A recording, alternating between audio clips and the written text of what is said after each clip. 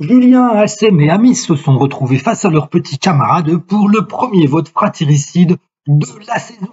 À ce petit jeu, Julien a rapidement été sauvé par le public, laissant ses deux adversaires s'affronter.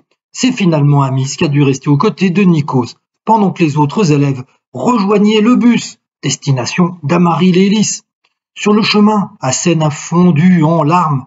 Je perds un pilier pour moi dans l'aventure, Amis, c'est vraiment une amie que je connais déjà d'avant l'aventure. Ça me brise, lance le jeune homme avant de monter dans le bus. Une révélation qui est parfaitement étonnante. Apprendre que les deux candidats se connaissaient même avant d'arriver au château. Carla qui connaît le chorégraphe Anis, Hassen et Amis qui se connaissaient avant, Anisha et Léa qui ont déjà pris des coups avec la prof. Plus ça va, plus on découvre les dessous des castings. C'est pas juste du coup ils se seraient sauvés s'ils n'avaient pas été nominés ensemble. Bref. Donc Amis et Hassen se connaissaient déjà avant l'aventure, alors que je ne sais pas combien de milliers de candidatures il y avait avant, c'est vraiment bizarre tout ça. Petit abus de la production ou simplement un milieu où tout le monde se